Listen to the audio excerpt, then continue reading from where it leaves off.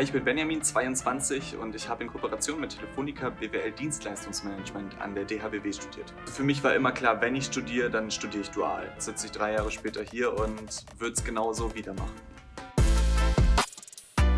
Und da hat sich mein ganzes Studium über so ein roter Faden durchgezogen. Mein eigenes Segment, also die Zielgruppe junge Leute betreut. Und wenn du mich jetzt aktuell fragst, dann darf ich auch den Themenblock Roaming mitgestalten. Über mein ganzes Studium hinweg durfte ich vier unterschiedliche Abteilungen kennenlernen. Das war besonders schön, weil ich mich immer genau das, was mich gerade interessiert hat, dahin konnte ich mich dann orientieren und die Teams kennenlernen. Manche können in so einem Format geil sagen. Geiler Arbeitgeber. Es ist ein extrem junges, dynamisches Unternehmen, bei dem du dich in extrem viele unterschiedliche Bereiche hineinentwickeln kannst.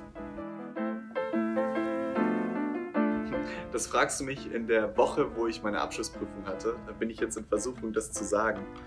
Aber ich glaube, es gab auch einen Zeitpunkt, da habe ich, das war der Moment, wo ich auf Versenden gedrückt habe, bei meiner ersten Vertriebsfreigabe. Und da hat Outlook mich gefragt, hey, bin ich mir sicher, dass ich die E-Mail versenden will, weil die geht an über 1000 Empfänger.